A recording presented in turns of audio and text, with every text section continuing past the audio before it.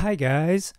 In this video, we will show you the printer's graphic user interface of the brand new X1 Carbon from Bambu Lab.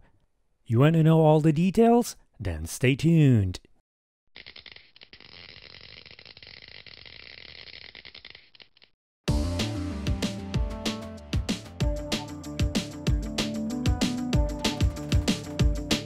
Hi guys, welcome back. My name is Rui and this is the Rui Raptor YouTube channel.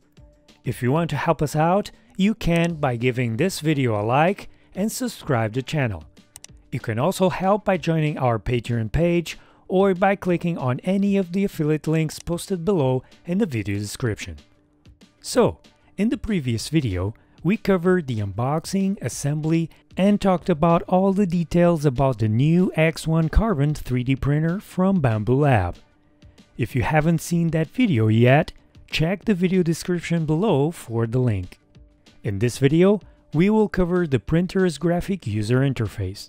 But before we go through all the menus and options of the user interface, let's talk a little bit about the display itself. The display is a 5-inch capacitive and color touch display. The mount where it is installed on allows the display to tilt a bit up or down. At the right side is the memory card slot. It's not very difficult to insert or remove the memory card, but you really need to use your fingernail to push it in just enough for it to lock or release. And this is the Bambu Lab X1 Carbon graphic user interface. The main screen shows the different menus at the left and some initial information at the right. The top button allows us to turn the internal light on and off. Then we have the Wi-Fi signal strength indication. Next is the heat bed temperature reading, the nozzle temperature reading, and the chamber temperature reading. The four small black squares at the bottom right corner indicate the status of the four slots of the AMS unit. If we enter the second menu, we can see some sub-menus at the top. The first one allows us to control the heat bed temperature. The second one we control the nozzle temperature. And the third one is the chamber temperature which cannot be controlled because there's no heater on the chamber. Next is the printing speed. While the printer is printing, we can change its speed. There are four speeds available. Silent is the slowest and ludicrous is the fastest. We can also turn on and off the part cooling fan and the big auxiliary cooling fan. These fans have a feedback system, which in other words are equipped with an RPM sensor. With this sensor, the printer knows if the fans are turning correctly and at the correct speed. There are also buttons to move the X and Y axis in 1 and 10 mm steps. At the center is the Home button. There's also the Z-axis buttons to raise or lower the bed, and the extruder to push or pull filament. An AMS submenu, is where we check and enter the filament information on the AMS unit. If we load a filament spool that is not from Bambu Lab, the printer will not recognize it. So we need to type in the filament manufacturer, filament type, color, and nozzle temperatures. One of the bugs on this firmware version is that if you load more filaments, it will lose the setting of the previous ones. It's not that big of a deal, because on the Slicer software, you define all this as well. Filaments from Bambu Lab are equipped with an ID, and the RFID reader on the AMS unit will read that ID when loading the spool. The information of the filament type and filament color is this way automatically loaded. The lines between the filament slots and the print head show which filament is currently loaded. In this menu, we can also check the humidity value inside the AMS unit. But although the sensor is there, the firmware is not yet ready to read the information and show it on the display. There's also an AMS setting menu where we can choose if we want to automatically read the filament's information. and a calibration button to calibrate the AMS unit. The third menu is for the printer's calibration. For now, we can only run the mechanical vibration calibration, but the manufacturer is planning to add more calibrations on this menu. The next menu is to choose from where we want to load the files to print and also to select them to start the print. The first one is the cloud.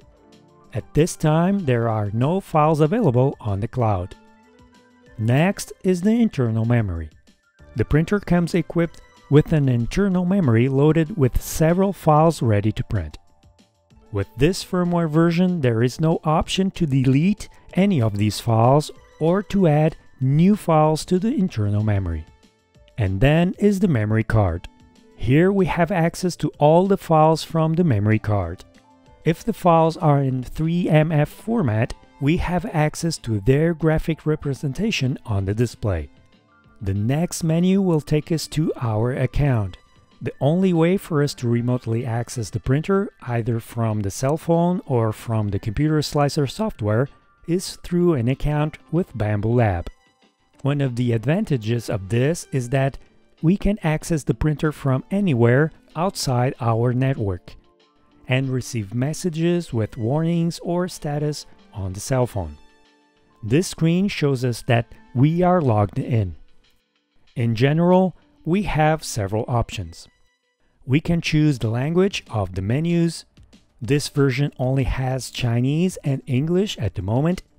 It shows the installed firmware version and also checks if there's any new version available to install.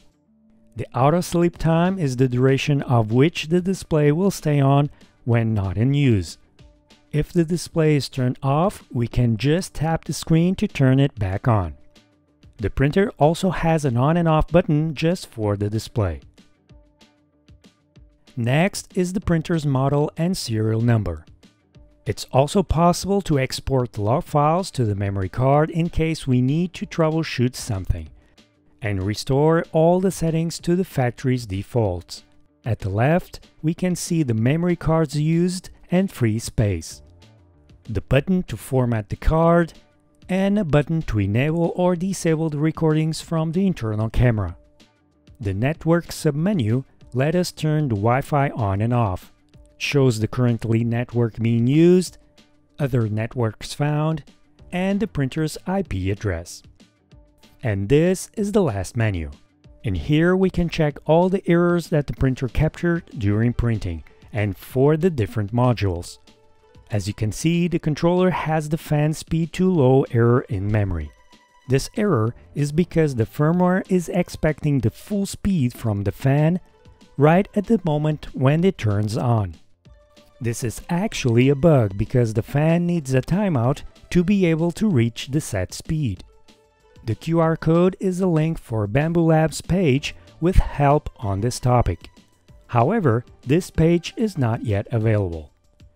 The other modules are the AMS, the tool head, the LiDAR sensor, and the application processor, which is responsible to run all sort of applications such as network, interaction, update, and so on.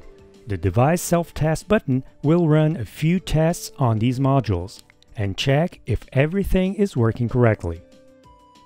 When we select the file to print, we get the indication of the print time, how much filament will be used, the filament type, and the slot on the AMS unit. It also shows all the initial calibrations and here we can choose which ones we want to run. When selecting print now, the screen then starts to show all the steps it takes before starting the print. The model graphic representation is shown at the left. At the bottom we can see the file name, the progress bar, and the pause and stop buttons.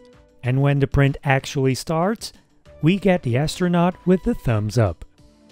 And that's it you guys, these are all the menus and options on the graphic user interface of the new X1 Carbon. We hope you liked the video, and don't miss the follow-up videos about the Bambu Lab X1 Carbon on our YouTube channel. And if you missed our first video, don't forget to check the video description for the link.